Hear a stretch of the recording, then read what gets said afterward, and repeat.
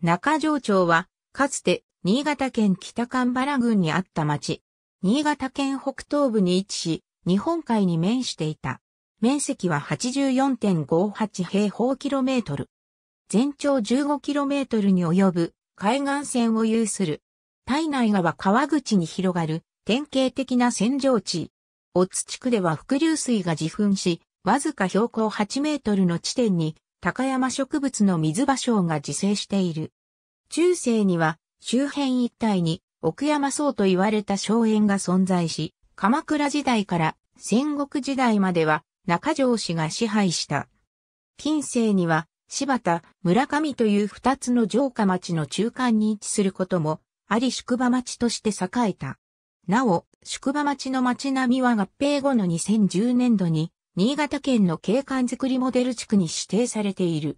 黒川村との一町一村による任意合併協議会が2003年12月25日に設立された。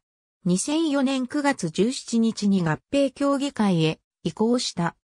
2004年1月12日、黒川村長、深川洋一は中条町長、丸岡隆二に両町村の住民同士における信頼関係が損なわれたとして協議会の中断を通告。翌1月13日に予定されていた法定合併協議会は中止となった。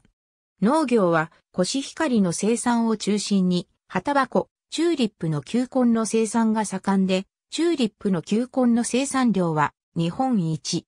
特産品は、やわ肌ネギ、幻のブドウ、他のレッドタのブラックなど。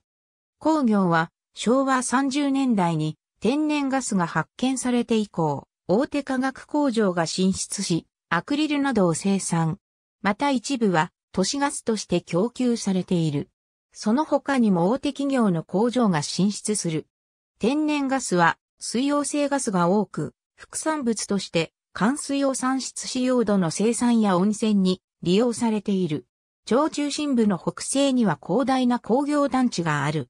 県立高校の学区は2000年までは村上学区、2001年以降は第一学区、2000年の町内中学生の進学先高校は中条、村上、村上桜ヶ丘、中条工業、柴田農業、村上女子、柴田中央の順に多かった。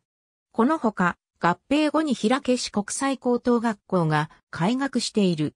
町域は JR 羽越本線の沿線となっており、町内には2つの駅があった。ありがとうございます。